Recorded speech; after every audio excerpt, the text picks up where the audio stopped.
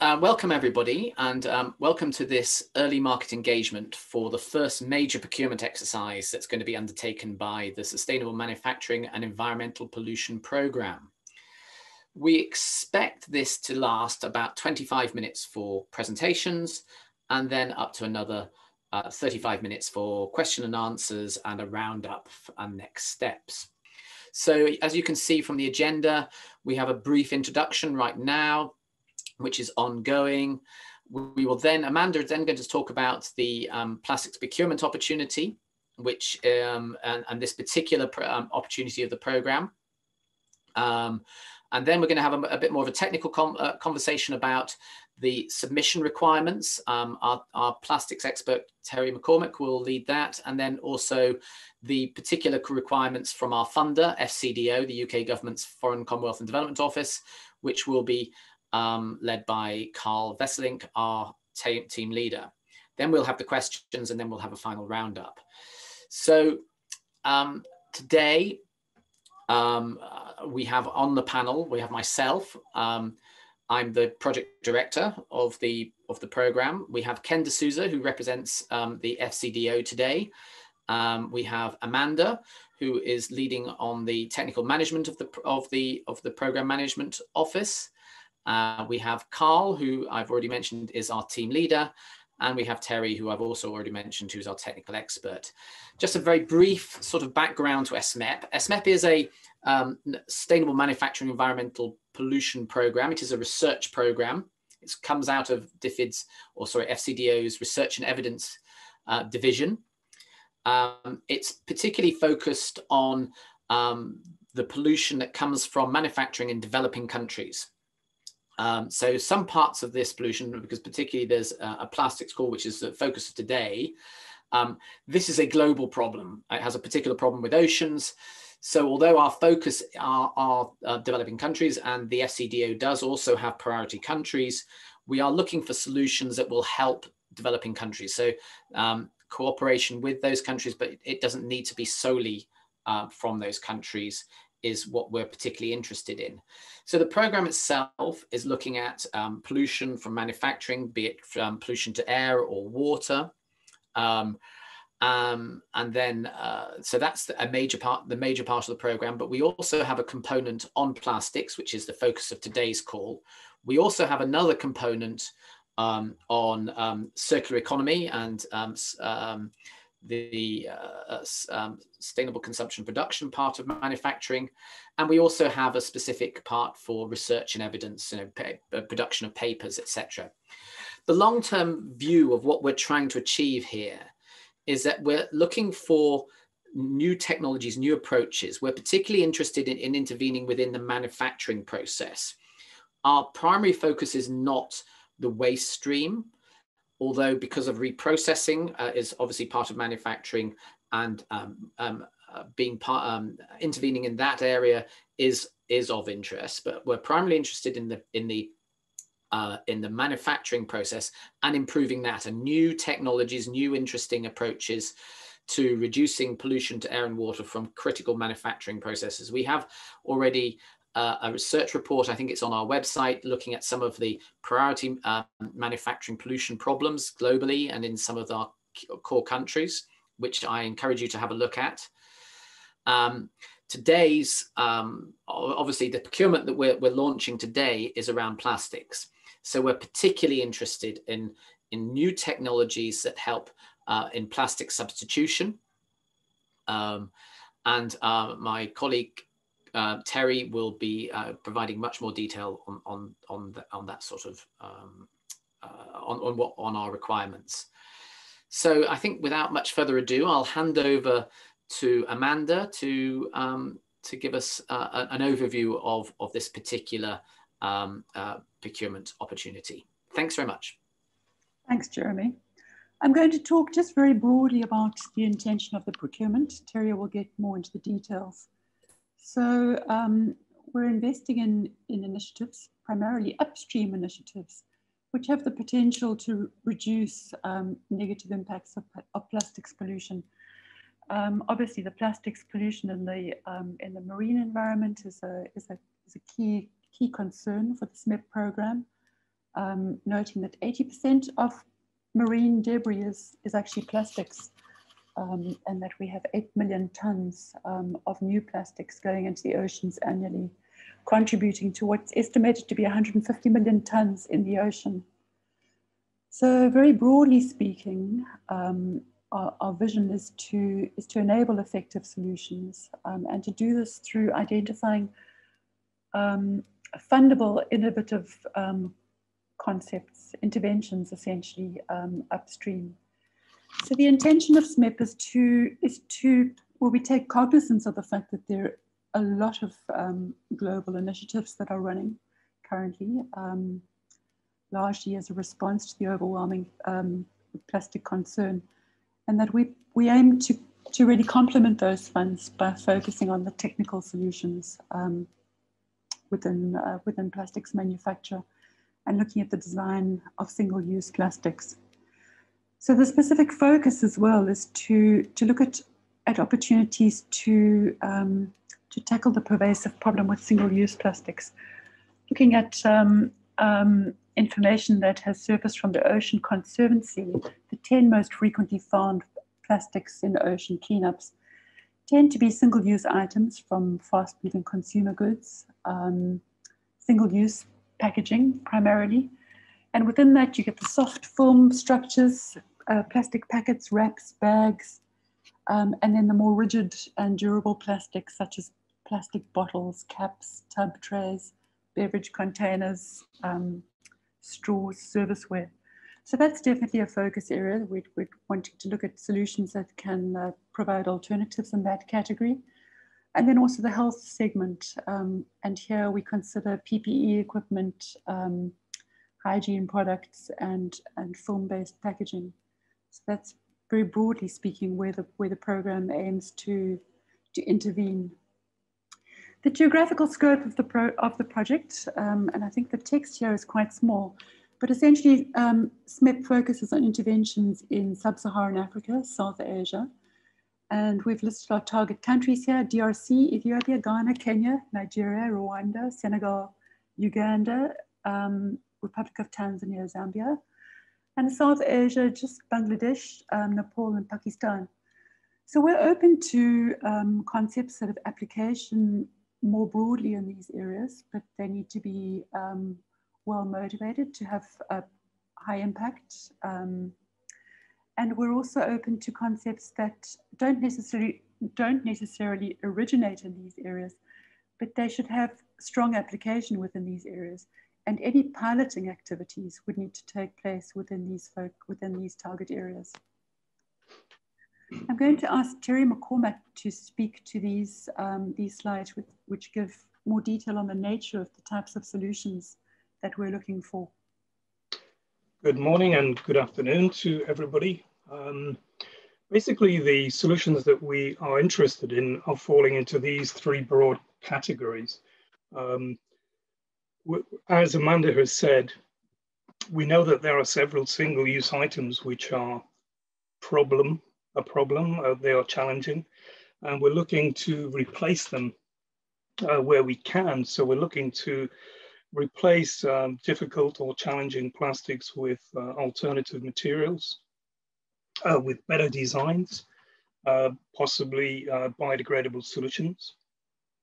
And we're looking at overall improving the recyclability of single-use uh, single-use items. The second category that we have here is around biodegradation, biodegradation. And um, basically here we're looking for what is a waste management solution, which could entail using microbiological activity to degrade plastics waste. The third category that we are looking at is in the manufacturing area. Um, for example, we know that um, plastic productions operations do uh, involve loss of material. And here we see that um, there should be better control and housekeeping, but we also need novel devices, I think, to, uh, to intercede to, uh, to as interceptor devices here. Um, and lastly, remanufacturing. Here we're looking at um, repurposing plastic articles at the end of their lifetime. And finally, we do have um, interest, because this is an overall a manufacturing, um, let's say, program, we are interested in industrial symbiosis approaches, which reduce waste and improve uh, resource efficiency. And some solutions may cut across the entire, uh, entire board here. Uh, we wanted to make a note really on biodegradability that we are aware that um, this is not a panacea and solutions should be very well, uh, well thought through. Um, a couple of words about the procurement process that we aim to, to run. Um, firstly, we are at this point uncertain of the, um, of the actual launch date. So the intention with, um, with this webinar um, and with the material that we've circulated thus far is really pre-market engagement. It's to ensure that the message gets out and that we get as many interested and, uh, and good quality applicants um, registered and, and ready to respond to the opportunity um, once we launch the call. So once we open the call, um, interested applicants will register online and we've already invited participants to do so. It's um, basically a, a, a, questionnaire which we've, which we've got, um, which remains open on the SMEP, the SMEP website. Once we launch, we circulate the terms of reference, um, and the terms of reference will provide detailed guidance on the criteria for the funding concepts. Terry will touch on those um, in a little bit more detail. Um, but essentially, we're looking for an overview of the concept, fairly high level, um, information on how it meets the program criteria, the funding requirement, and this is quite important um, for the selection process because we need to, we've got, uh, we've we've got several bands of funding available, um, which we'll speak about in um, uh, further down in the presentation. But we'll need to we, we need to um, collect a, um, a portfolio of different of different projects, both within the high level of funding and a, um, and starting at the bottom rung, which is we're looking at entry entry budgets of two hundred and fifty thousand pounds also the, the potential impact, um, and we'd like to have some reflection there on the life cycle assessments, um, and then very high level due diligence. There'll be a process um, of selection and um, a, a, restricted um, request for proposals, and here we'll go, be going into a lot more detail in terms of the um, the structuring of the of the, the, the delivery of the of the work um, and the budget um, development. So all of these um, submissions, both the call for concept submissions um, and the restricted um, request for proposals will be via the online uh, procurement portal, which we have on the SMEP website. Some information on the selection process that we'll be running once we launch. Um, so the call will be open for a six week period. We'll have a four week period to evaluate concepts um, and then the request for proposals, so that will be open for six weeks in total, definitely no shorter than six weeks. The evaluation process, um, and here we'll definitely we'll be calling on um, the SMEP um, independent panel of um, independent experts, announcing um, the contracts. And then we've, you'll see here, we've scheduled uh, between two to eight weeks for the contracting. And um, that is because we anticipate that the contracting in this particular area may be complex. There may well be commercial and IP considerations that will need um, a, a, careful negotiation within the contracting time. So we anticipate essentially from um, the point where we um, where we launch the, the formal call that it should take um, between between five to six months to actually begin um, and get going, get going with the work. I'm going to ask Terry to, um, to speak to the next slide on the considerations for developing concepts. Thanks, Amanda. Um, basically, um, we have to think about the territories and the countries of interest that we have here, Sub-Saharan Africa and South Asia. And therefore, in you know, putting forward concepts, we think you need to consider things such as the affordability of the solution, uh, accessibility to natural resources, transport infrastructure, the status of current waste management systems. Um, but there are some other uh, contextual considerations, uh, such as the potential for local sourcing, employment opportunities, and how do you engage with the, the local value chains, so the existing value chains, uh, what are the, you know, which stakeholders uh, do you need to reach out to? There will also be perhaps some IP, so intellectual property considerations that we need to think about. And these will form part of the terms of reference uh, when the actual call uh, is constructed. Uh, and, and of course, the whole ethos, if you will, of SMEP is around sustainability. So what are the sustainability uh, impacts and what are the life cycle uh, implications? Next slide, please. In terms of how we will be rating um, these particular concepts as they come through, uh, essentially there will, will, be these four categories. So first of all, governance, and uh, we will talk a little bit more about due diligence in a moment. Um, but also primarily the technical quality of the concept. Um, which status is it? Uh, so technology readiness. Um, we're probably looking at things from technology readiness level five, so piloting and above, ideally. Although, uh, if there are concepts which, you know, with a little bit of funding can accelerate through the, you know, technical readiness levels, then they would be of interest. Then we're looking at how does this particular solution impact on the overall objective? You know, is it reducing pollution? Uh, what impacts does it consequently have on sustainability uh, in these particular areas that, uh, that you see cited here? And then the effectiveness, effectiveness of the delivery. So what sort of business model can you, can you propose? Have you considered the commercial and investment requirements? Obviously, uh, perhaps some of the policy requirements, some of the regulatory requirements, and so forth. So the next slide, please. Um, this is just to, to, reiterate a little bit about what I said earlier. Um, what is really in scope, uh, particularly interested in new and emergent uh, raw materials technologies, uh, innovative product design, which will help to um, design out the, the failure of uh, challenged items, which are often dispersed uh, within the environment. We're looking for those inventions which help raw materials escaping from production processes or distribution. And promising concepts, as I say, which can, um, you know, with, with some funding and with some additional support can progress rapidly through the readiness levels and overcome perhaps regulatory bar barriers which are holding them back. It's worth saying what is not primarily in scope uh, and I think Jez mentioned that earlier. Um, we're not looking at traditional waste management solutions here because this program is meant to be complementary. Although we understand that um, the end of life fate of whatever, you know, whatever proposed uh, materials or proposed uh, systems uh, is also of, uh, uh, of big, big importance in, in the overall life cycle consideration.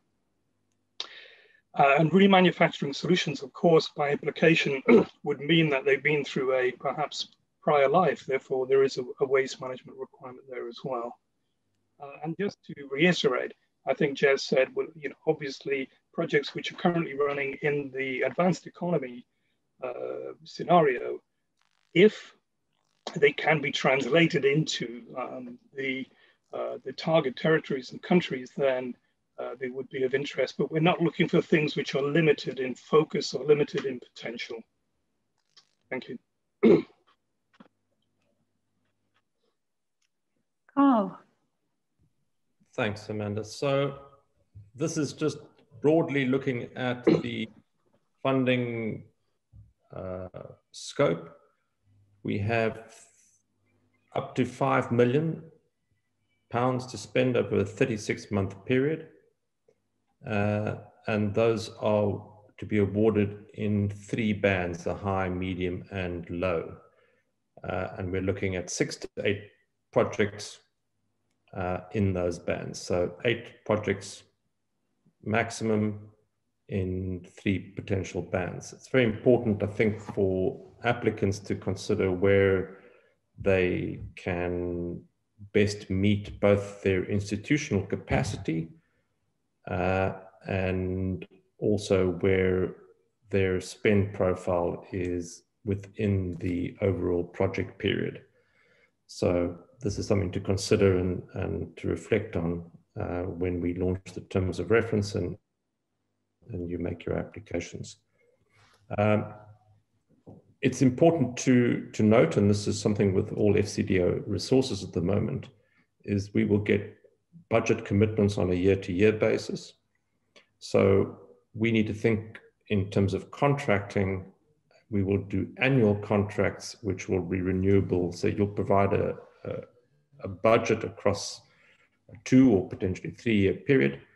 Um, and you need to think about discrete pieces of work that you will do within each financial year.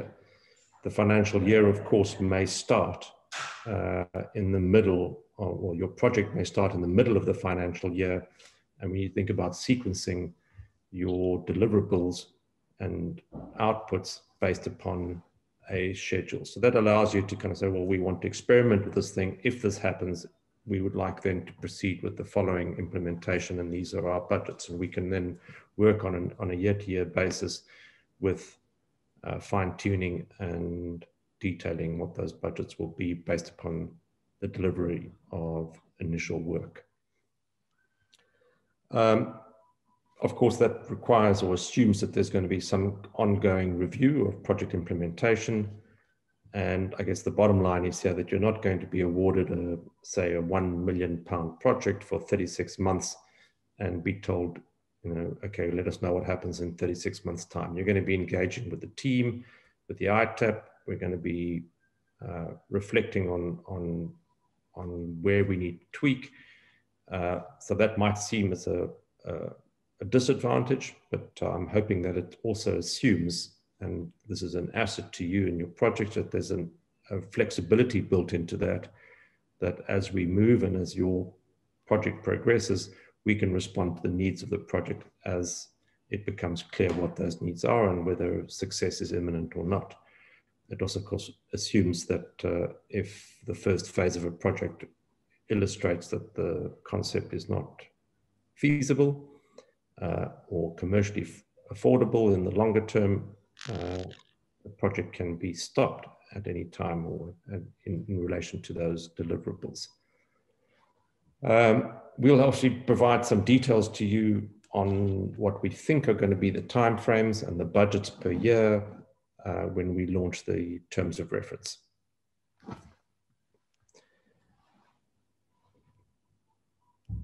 You'll understand that we these are fairly sizable contracts and we just want to run through basically ensuring that if you're applying for this, you need to ascertain that the entity that is your main applicant uh, complies with broadly these six criteria. Um, those of you that have been through FCDO due diligence process will know that there's a great deal of complexity within each of these criteria. But broadly speaking, this needs to be a registered entity, a tax regist registered entity. It needs to be compliant with its local uh, legal uh, responsibilities in whichever jurisdiction it, it trades. Um, and when you submit your registration of interest, you'll self-certify that you do. And when we receive your concept, we will verify that that's the case. And that verification is relatively light touch, but it would be a waste of your and our time uh, if when we get to the point of uh, proposal, we realize that that your uh, self-certification was erroneous and that you don't, for example, have a tax registration certificate. So this is an opportunity to think about the vehicle that you would like to use for this process. Uh, financial stability, uh, apart from audited financials and tax compliance and internal controls and some income diversity, you could take it as assume that if you're applying for more than the average of your annual turnover for the last three years, then we're going to apply additional due diligence. If you're applying for the same, if you're not increasing your turnover by more than 100%, we will provide less due diligence requirements. So this is a, an opportunity to consider the entity and whether in fact your sweet spot is in category one or category three of the um, maximum budget. I'm not going to go through each of these uh, elements. Those of you familiar with, with projects of this nature will understand what they mean. Um, I just want to point out that under item four, yes, you can form consortia, you can subcontract partners. Of course, that assumes that you've got the capacity and the experience and the history in managing your subcontractors. Uh, there'll be some checking of your ability to deliver via performance and references and checks on your uh, compliance. Uh, safeguarding is an FCDO requirement, and this relates to the, your duty of care, and that duty of care needs to be managed through to your subcontractors.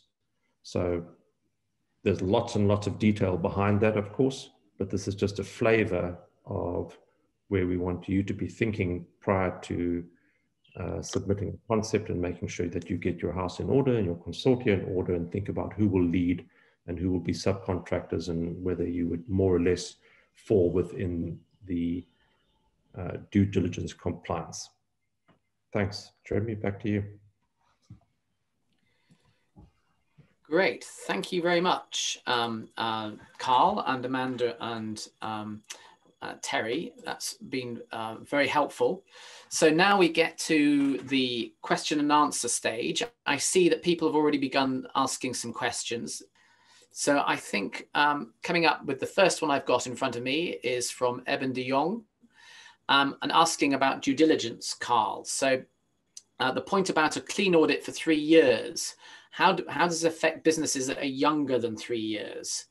Um, Carl, can I ask you to, to address that comment, that question, please? Yeah, so, so listen, we, we would, you know, it might be that there was you know, a very good reason why a business is recently incorporated or a non-profit or research institution.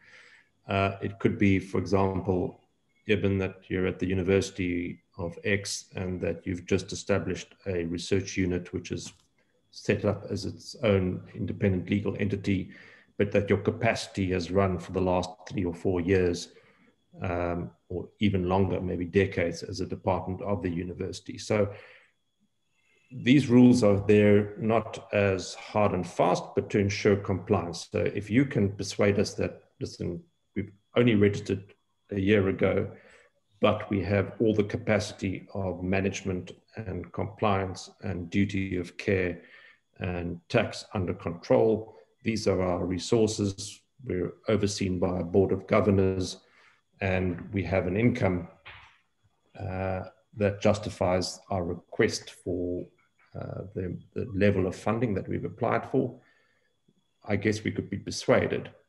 The opposite of that is that uh, clearly, if you've incorporated an entity which is a shell and is incorporated for the purposes of this application and has no history or track record and no substance behind it, well, then you're wasting your time.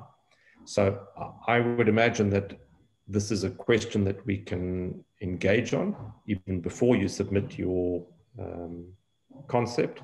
If you would like to talk us through your institution and uh, its particular history, we can give you an indication of whether that would be considered compliant.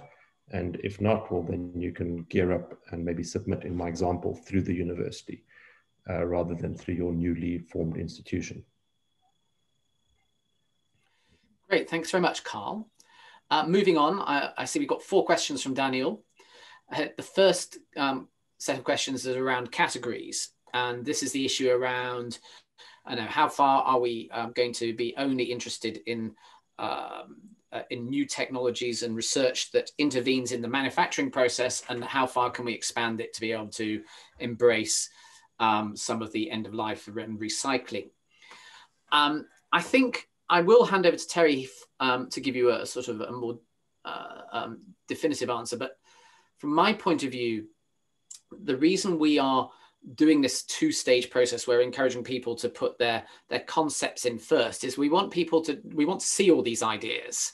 Um, we, do, we want to do it in a way that doesn't take an, an, onerous amount of time for you to put these proposals in.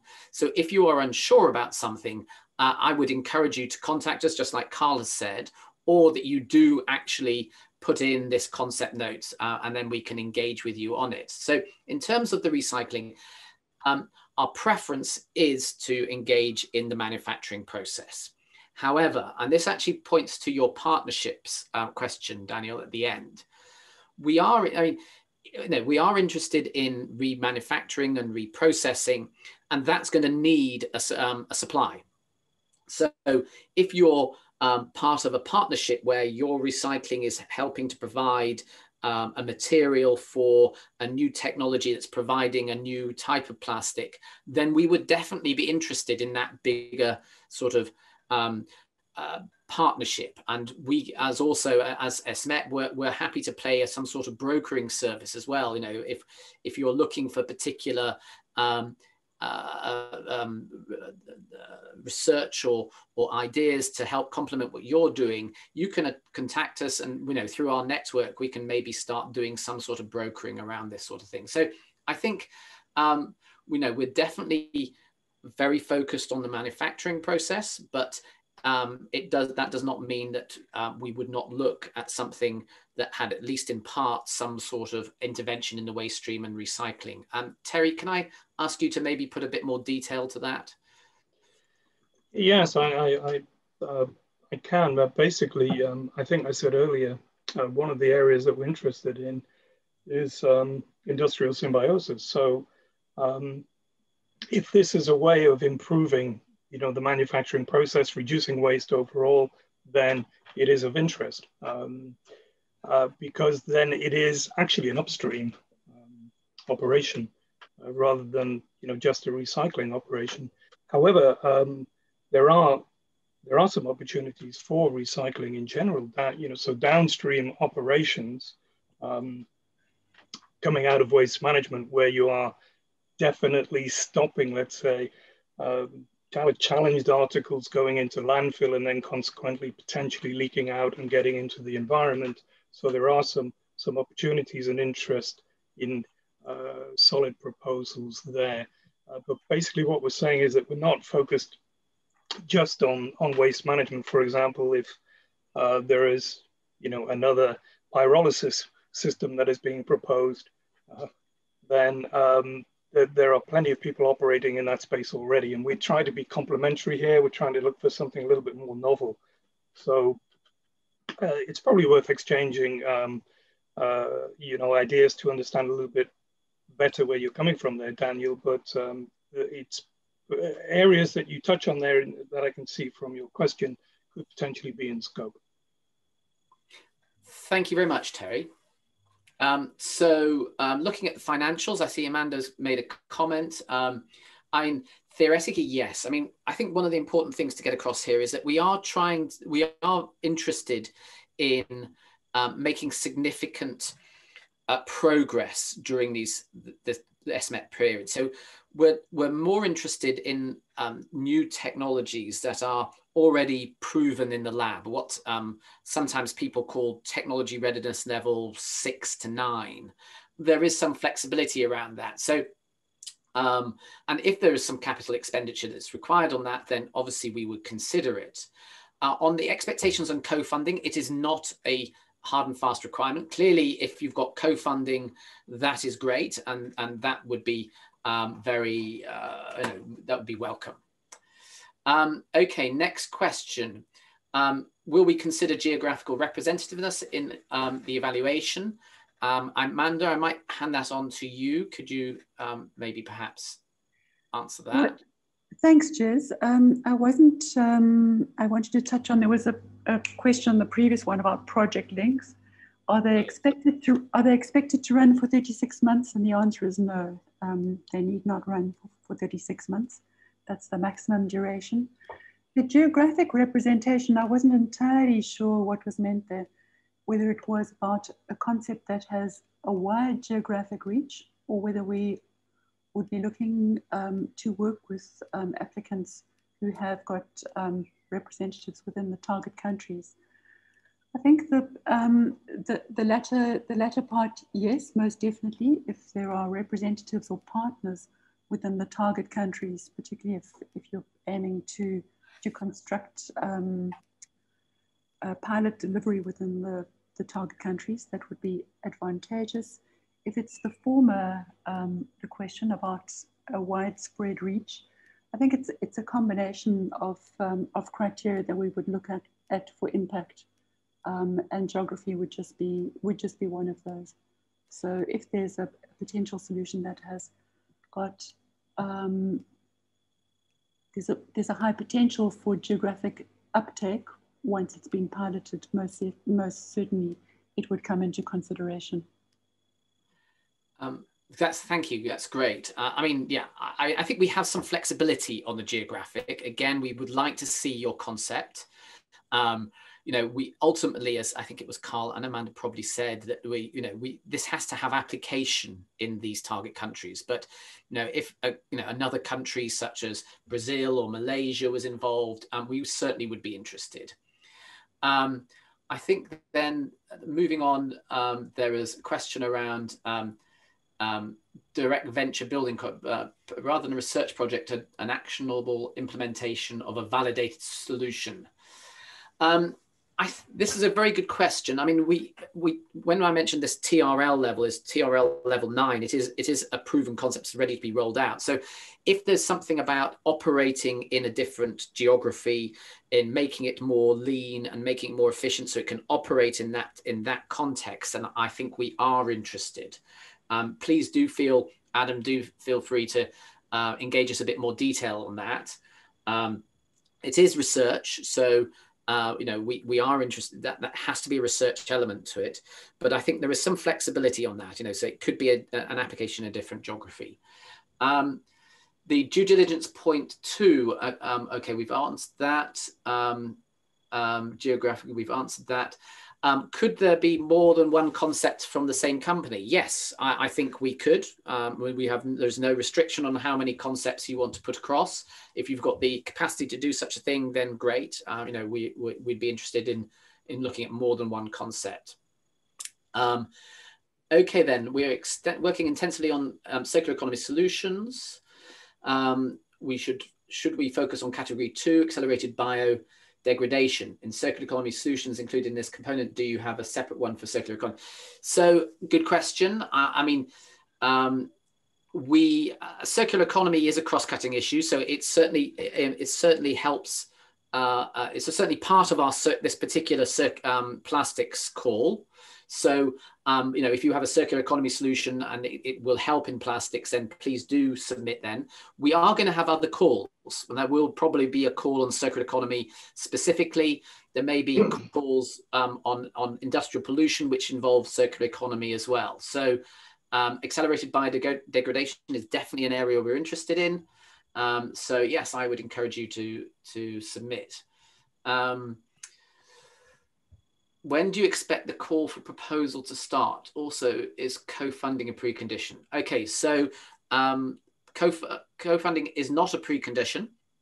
Um, we would expect this to start. Amanda, can I hand over to you to um, maybe talk a little bit about timescales?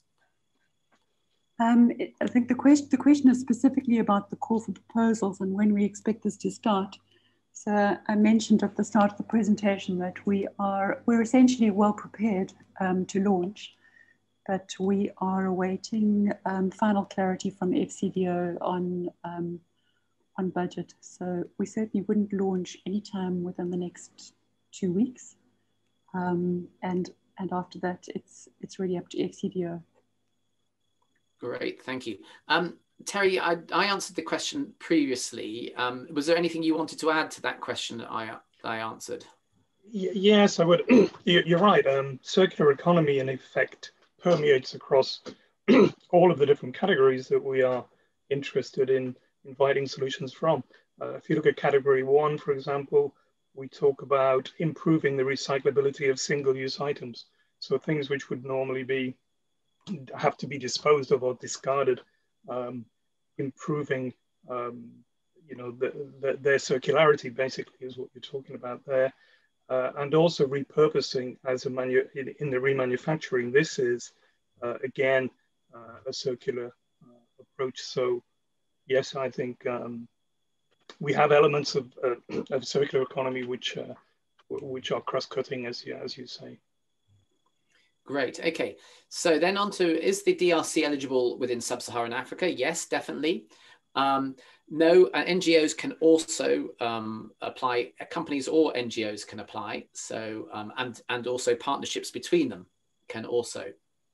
Um, would you consider digital technologies, uh, uh AI-assisted intelligence um, platforms to redirect waste streams in industrial symbiosis?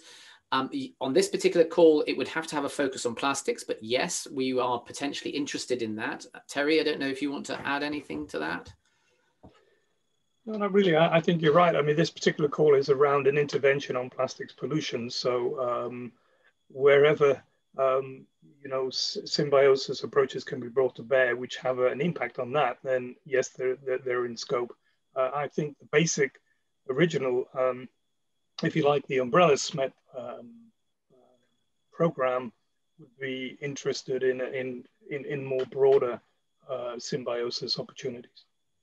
Great. Um, how do we get in touch if you want to engage us um, in more detail? There is our, our website, the, S, the SMEP website. Um, we can also, when we circulate the notes from this meeting, we can put in some contact details for some key people for you to, to engage with, um, Daniel. Um, there's still Adam's um, original question up at the top, um, which I think we I tried to answer. Um, you know, we are definitely um, interested in um, uh, in new ventures. in in different ge geographies, in using technologies that are already proven, you know, there is potential for that. So that would potentially be in scope. I mean, there was a question that also related to that in terms of partnerships. So Uh,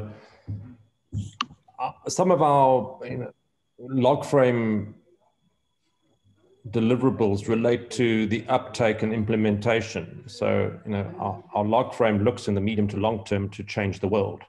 And that assumes a level of practical application. So if you're a university and you're submitting a concept, it would boost your application to have a private sector partner that would like and is interested in running with your concept. Um, and maybe your concept would be boosted further if that private sector partner has put up the capital to pilot the, uh, the, the concept. So the partnership, if you're a, a private sector institution and you want to uh, you know, introduce a new manufacturing process or new technology within your packaging uh, process, then probably a good idea that you've got the right kind of research partners on board that can monitor and engage and support your uh, process of learning and piloting. So yes, the, the partnerships are not essential that you can apply as a single applicant, but given the nature of where we're trying to get to, we are likely or we assume that we're going to receive applications from organizations in partnership that bring different skills to bear on the problem. Um, and then that introduces the question of whether there's capital expenditure possibly. And yes, in relation to piloting a particular technology, uh, SMEP may fund the initial costs of piloting, which could be of a capital nature, although that's not the primary purpose to fund the rollout the rollout will come later and probably cost a lot more than SMEP has budget for. I hope that clarifies some of those questions. Great. Um, um, I noticed um, Amanda invited you, Terry, to uh, perhaps add some more details to a previous question. Is, is there something you would like to add to that?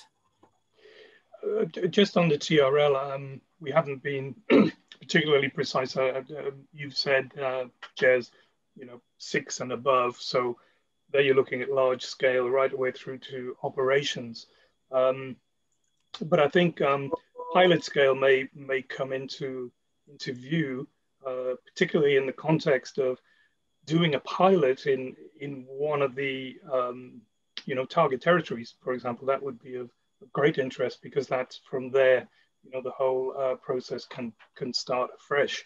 Uh, so when we're, you know, we're thinking about organizations who already have gone through some of these perhaps pilot scales, they may be obviously in the um, established economies, uh, and we're interested in solutions for the uh, emerging economies, therefore uh, piloting and bringing those partners together to, to, to do that would be of, uh, of great interest. So that's why I mean, you know, five, six pilot scale, large scale. Um, it really just depends on the nature of the of the concept. And as we uh, as we've seen the questions here around engaging with researchers, uh, they may still be further upstream for that uh, bench scale, for example, having developed a proof of concept.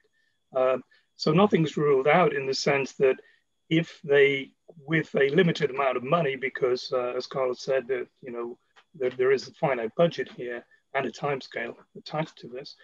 Um, if with a limited amount of money they can move through the you know towards a pilot scale uh, and and beyond type of level, then why not? Uh, you know, th they could be of interest. Uh, but ultimately, the objective, um, reducing the level of, uh, of plastics pollution that we have in the target geographies which we've spoken to. Yeah, great, thank you. Um, so a quick question from Peter. Um, so uh, there are already recent startups which are you know require um, support to accelerate and scale up what, what their, their prototype.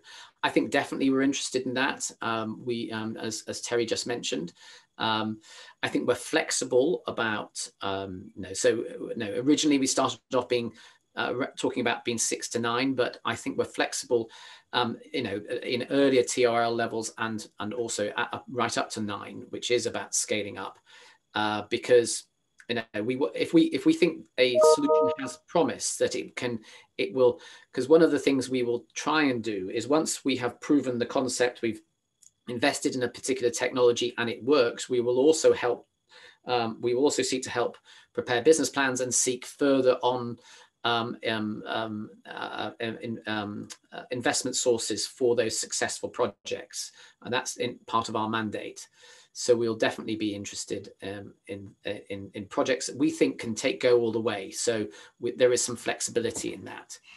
Um, so another question from Daniel, I think here. Um, so I think that, yes, so Peter, hopefully that answers your question. Um, um, okay, with the program's view on biodegradable materials causing issues of waste management recycling. Um, Yes. Okay. Yeah. I mean, you know, I think there are some challenges here. Um, I think I will ask um, Terry to perhaps um, comment on this. It's a very good point, um, and it is one we have discussed. Yes, in, in fact, in fact, we do have a kind of health warning when it comes to, you know, biodegradability being a function of, of a material, uh, and it's certainly not a panacea, as I touched on earlier. yes, we, we're aware that existing waste management um, systems, particularly those involved with uh, mechanical recycling, uh, can be impeded by um, materials in there which are designed to biodegrade and can create some, some issues. So what we've said is um, that wherever there is a proposal for a biodegradable material to be used, it's obviously being used in a context. So it will be for a particular uh, material, uh, a particular item or article or system. Um, and it is very important to consider the ramifications downstream uh, of, of deploying that. So is it compatible with existing systems? Can it have its own, its own closed loop? Uh, what are the waste management um, uh, options available, uh, particularly in the target territories that, we, that we're referring to? So we expect that that would be fully considered uh, under the life cycle um, let's say, considerations for a, a, given system. Now, we're not asking people to do an LCA, particularly not at the concept stage, but we're asking them to have an idea of the potential impacts, um, both through manufacturing, sourcing, manufacturing, and, and use phase, and then the end of life um, system that would need to be brought to bear. So we expect that people who have a concept in mind have given due consideration to those aspects. Um, so are there any more questions? Uh, it looks like we've answered 21 questions so far. I mean, what we're really hoping is that people are going to be putting their concepts together. Uh, we're very happy to engage with you further um, on any ideas or any questions you have. Um, you know, we, we really are encouraging people to um, uh, to talk to one another. I, I noticed somebody talked about a, collabor a collaborative platform and things like that. We will we'll look into that and how we can foster that sort of collaboration. I also noticed that lots of people are putting in their, their details, their contact details now, which is I think is great. Um, encourage people to do that. Um, and um, I'd like to just open up to the panel once more, see if there are any final thoughts or comments from Amanda or Carl um, or Terry on this. Jez, I noted the question um, regarding um, uh, making contact details for the registrants um, available publicly so that um, people can reach out and collaborate. Um, and I think we'll find a, think of a way to put that question to registrants to find out if they're happy that we share their details. I would just say yes, the idea of having a frequently asked questions, uh, we do have a draft um, version of that um, which would need to be polished up and uh, certainly take into account some of the, the, good questions that we've had today as well. Um, and in terms of um, engaging further, then yes, encouraging people, and if they have any you know, questions that they wish to clarify with relating to their potential project, and to, um, to reach out. Great. Um, is there, are there any more uh, um, administration points that we need to um, um, highlight, do you think, Amanda? No, I'm just, um, Terry's right. I do, we do have a draft FAQ. We'll update it. There have been some good questions asked and we'll aim to share that early next week at the latest um, and make that, we'll make that available as well on our, um, our SMEP website, but all registrants will be alerted to that. Great. Well, thank you very much, everybody, for joining today. Um, we look forward to receiving concept notes for everybody once we open everything up. Uh, we hope to be able to do that imminently, and we will be in touch. Thank you very much, everybody.